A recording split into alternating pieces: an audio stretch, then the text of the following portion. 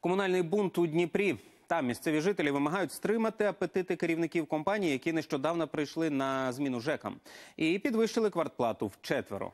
Докладніше у матеріалі наших кореспондентів.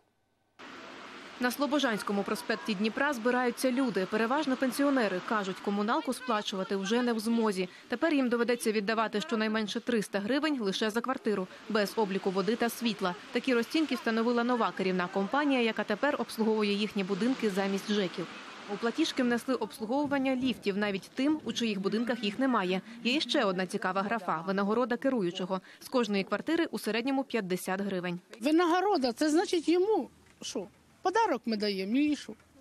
І зарплата йому у кармани. Для чого керівній компанії заохочення? Ми запитали у директора комунального підприємства. В цей тариф входять всі адміністративні е, затрати нашого підприємства, а саме е, електроенергія, те, от, опалення приміщень, заправка картриджів, бумаги, канцтоварів, е, а також е, заробітна плата і ТРС составу.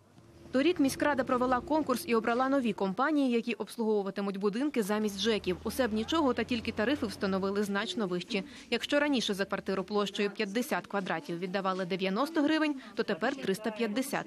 Підвищення нова компанія пояснила просто. Змінилася вартість ремонтних робіт і обслуговування, а працювати на збиток ніхто не буде. Чем выше здание, тем э, обслуживание его более рентабельное и, соответственно, тариф более низкий по отношению к малоэтажным домам. У малоэтажных домов мало людей проживает, большой объем дома и большой объем придомовой территории, которую надо убирать. У мерії кажуть, жилсервіс 5, жилсервіс 2 і житлове господарство опікуватимуться тими будинками, які не створюють ОСББ. Если их не устраивает эта ситуация, они могут выбрать себе любого другого управителя и заключить договор с кем угодно. Хоч як чиновники переконують, що тарифи виправдані, та мешканці не згодні. Деякі пішли до суду. Перше засідання призначене на кінець березня. А поки що люди знову збираються виходити на акцію до стін міськради. Катерина Сривкова, Олена Мендалюк, Євген Котенцов. Новини телеканал Інтер. Дніпро.